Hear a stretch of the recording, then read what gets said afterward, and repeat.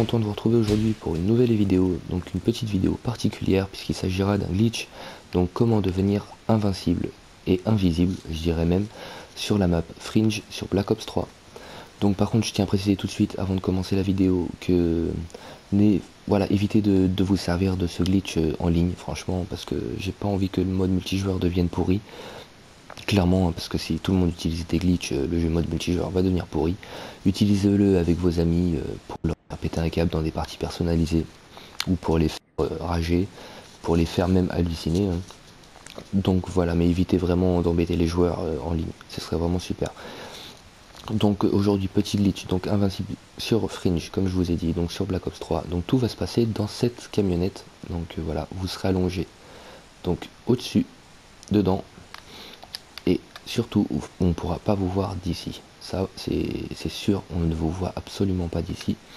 Donc une fois dedans, on aura une vue plus ou moins de, là jusqu'à là, plus ou moins. Donc je vais monter dedans et puis je vais vous montrer ça tout de suite.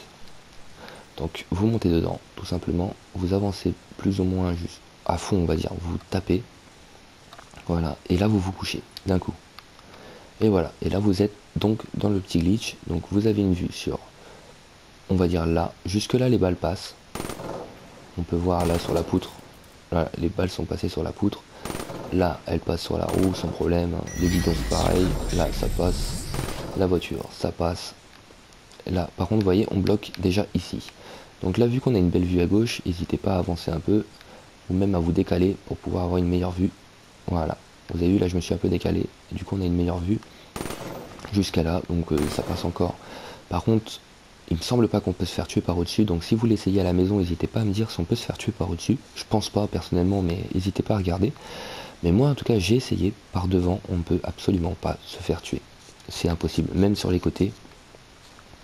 Tout ce qui est euh, balles, lance-roquettes, C4, grenades, rien ne passe au travers. Vous ne subissez absolument aucun dégât.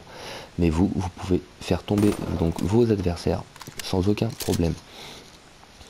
Donc voilà, je pense avoir tout dit, c'était une vidéo plutôt courte, juste histoire de vous présenter ce petit glitch qui n'a rien de compliqué, euh, même un débutant euh, peut y arriver sans aucun problème.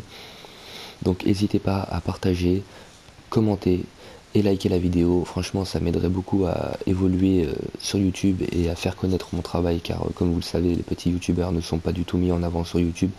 Donc ce sera seulement grâce à vous si vous appréciez mon travail. Ce sera grâce à vous si j'arrive à évoluer. Donc euh, voilà, et n'hésitez pas à vous abonner aussi si c'est pas déjà fait. Euh, donc euh, voilà, il me semble avoir plus ou moins tout dit. Moi je vous retrouve pour une autre vidéo. C'était Yesai. Ciao, bye.